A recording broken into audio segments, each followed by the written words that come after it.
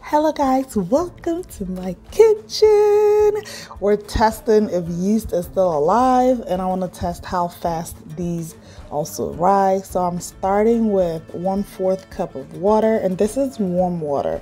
I actually microwaved it a little bit for 10 seconds, okay? Um, after that, I added a, a teaspoon of sugar to each um, uh, bowl and I just try to mix it as much as I could. And I am adding the yeast. Uh, this one is the fast rising yeast. Um, just so you take a look at, I took a look at it and see what it looks like physically. Um, so just add a whole packet of it. I believe it's two and one quarter teaspoons of yeast in one packet. So just try to mix everything together as much as you can. And on the other side, I'm mixing the active dry yeast. I think they look pretty similar. I don't know what you guys think. The fast rising might be a little more, slightly bigger.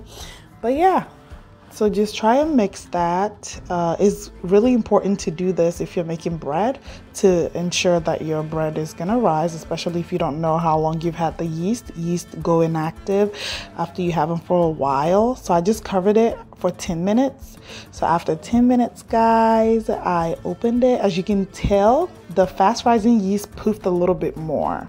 Um, that's what it looked like uh, after 10 minutes. So you can definitely tell that the yeast is alive because if it weren't, it, nothing would happen. It wouldn't foam, it wouldn't, yeah. So I just turned it and that's what it looked like. So the, for sure, we know that this yeast is alive. So if I mix it in any of my flour mixture, it should be good. And I'm going to show you guys, I was making a pastry uh, just so you see what it looked like, the yeast looked like in each of the um, flour mixture. So, um, and again, if you're making uh, anything with uh, instant yeast, you don't have to proof it, really. As you can tell, when I let them rest, it was still rising, uh, getting foamier.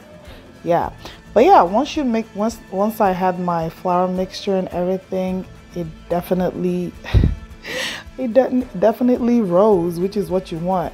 This one looked like it was more because the bowl was smaller but i would say that the fast rising yeast rose faster and bigger. So but that's it. So subscribe to my channel guys